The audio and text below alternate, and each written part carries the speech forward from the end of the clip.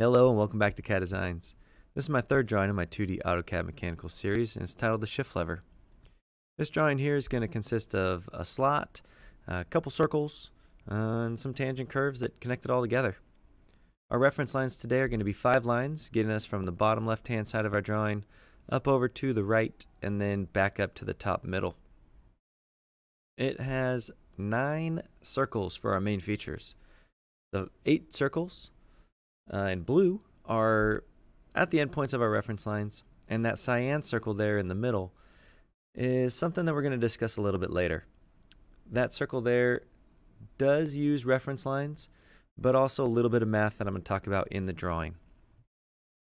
Our modifying features for today are the vertical lines that complete our slot, the two larger circles that fill out our part, plus that top area, it's going to have a line and two fillets. The dimensions for this drawing are pretty messy. I'll be highlighting a couple of those during the drawing. If you want to download the documents in this series to have and print out before you start the drawing, go to my page on Teachers Pay Teachers at CAD Shop by CAD Designs.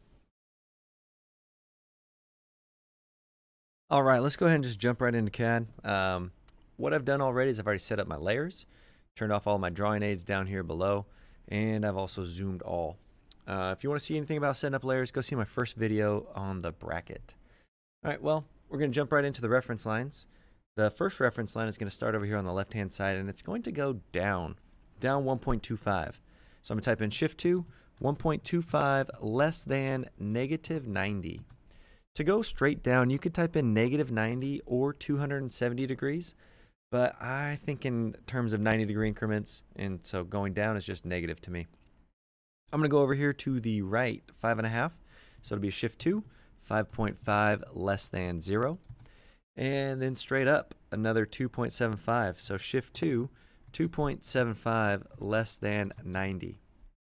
Back to the left, 3.4, so shift 2, 3.4 less than 180 and straight up 1.25 so shift to 1.25 less than 90 that does it for our reference lines. We're going to go ahead and jump into our solid model.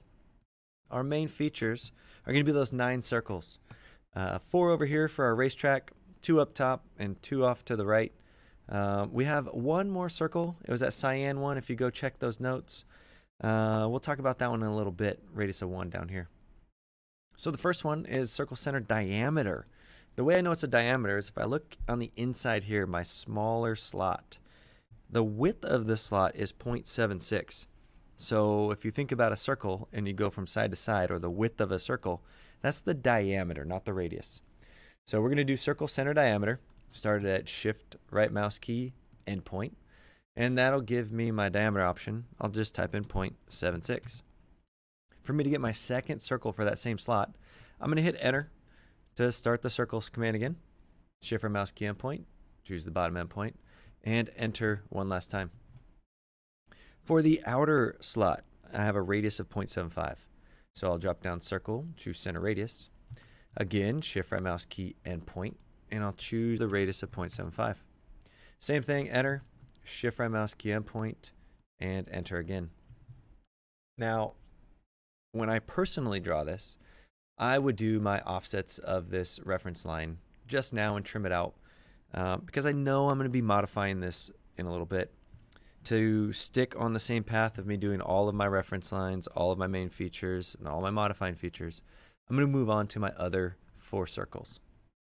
So the two over here, uh, those are both diameter diameter 0.75 and a diameter of 1.5. So I'll drop down circle, choose center diameter, shift right mouse key endpoint again, diameter of 0.75. Just choose my circle button, shift right mouse key endpoint, and diameter of 1.5. The two up here, I have a full-on circle, that'll be diameter, and then the arc on the outside is a radius. So diameter again, shift right mouse key endpoint, diameter of 0.5, and the last one, change back to radius, shift right mouse key endpoint, 0.56. That does it for our eight circles. Uh, again, this cyan one we'll talk about in our notes in just a little bit. Next, I'm going to do my offsets here for my slot. I'm just going to zoom in. Um, the distance of a circle from its center point here to any edge on it is the radius of a circle. We drew this circle here with a radius of 0.75, so that value from here to here is 0.75. This circle, though, we drew with the diameter, so we got to do a little bit of math in our head. So if this was a diameter of 0.76, well, the distance from the center to the edge is half of that, or 0.38. So I'm going to offset this line, O enter, 0.38 enter, and I'll offset this reference line to the left and to the right. I personally like to switch them back over to my solid model layer by selecting them and just changing my layer. And then now I can hit escape and offset for the outer portion. So O enter, 0.75 enter. Choose this line, left and right, and again change your two new lines to the SM layer. Now I'm going to trim. Uh, I like TR, enter, enter. I'm just going to green cross hatch my way across. Um, just these little pieces here. Sometimes you might you might leave, not lose. You might leave a little portion that you need to trim. You can just go ahead and select those and delete. I forgot two more two more trims. TR, enter, enter. Trim out here and here. And now I have my two slots. Coming up, uh, the next portion I want to draw is the arc that goes all the way between these two curves, or arc in a circle. Uh, it has the radius of 6, if you look at it. Any circle that I draw, or any arc that I draw, I'm going to want to know three things about it. I know that the radius is 6. I know that that circle just touches this arc here, and it just touches that arc there when circles or lines just touch a curve, meaning that they touch them at one point only, those are tangent. So I know that it's tangent to this curve, tangent to that curve, and has a radius of 6. If you drop down circle, you'll notice that we have an option of tan tan radius, where I can just choose two objects I want it to be tangent to, specify the radius, and then that curve will be created. So tan tan radius, click once on this curve, click once on this curve, and then type in 6, enter. It'll bring up a circle that just touches each of those just perfectly tangently, right at the points that make it successful. I'm going to TR, enter, enter, and trim off my outer portion of that arc. Don't need it anymore. Uh, now we'll move up top. Up top here, I have a fillet with a radius of 0.38. I have another one over here, but this side's a little bit different, so we'll work on this one first. To set the radius of 0.38 for my fillet, I'm going to type in F enter, R enter, 0.38 enter. I'm going to select this circle on the outside right and this circle over here. You'll notice though, when I clicked on it, this curve just disappeared on our left side. Whenever you fillet an object, it also trims. For me to get this curve back to our uh, left-hand side, I want to use the opposite of trim, which is extend. You'll notice that if you have the trim command here, you can drop it down and choose extend. But since I've been using the keyboard shortcut of TR, enter, enter, I'm going to use the keyboard shortcut for extend, which is EX, enter, enter. If I continue to click on this curve, it'll just grow more to the left, and I can bring it all the way over. I'm going to undo that last one and show you a faster way to extend. If I use the extend command properly, I can EX enter one time, and I'll choose this curve as my outer bound. If I hit enter one more time and then go select this arc, it will grow until it hits that boundary. It's much faster, a little bit easier, um, the preferred way to do it. All right, looking over here on the left side of this curve, if you look closely at the drawing, the fillet doesn't go in this area there's a straight object coming down from the side of this circle before it fillets into this arc. That's just simply a line. Coming from the side of the circle, um, it's called the quadrant, this outer portion. Um, we'll just draw a line, starting at shift or mouse key quadrant, and we'll bring it straight down. Now, don't just randomly click. Uh, you can bring it down very quickly by holding the shift button that temporarily turns on ortho mode. You can also come over here and click on the ortho button but I like to just hold shift and we'll bring it down below this arc. Doesn't matter how far, you could actually have brought it up above or below. When we apply that fillet command, it'll either grow or shrink that object. So F enter, the radius is already set to 0.38 from the last time.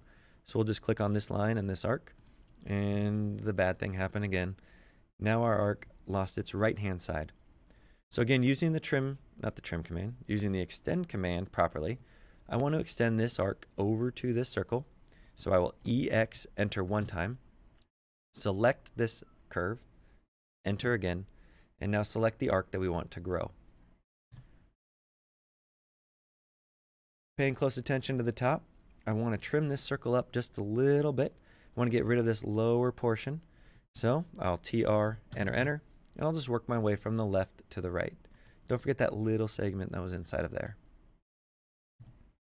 All right, now to that cyan portion. If you're looking at the notes, we have this circle right here with the radius of 1. Again, as I stated earlier, when we're drawing this arc, we need to know three things about that circle. I know that the circle that's going to be happening about here, let me just draw one for you. The circle is about in here. The three things about that circle is that it has a radius of 1.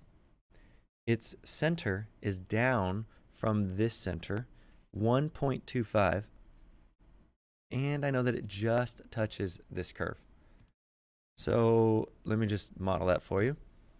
If I were to have this circle just touch it, I need it to be tangent here, be down 1.25 from this center, and have a radius of 1.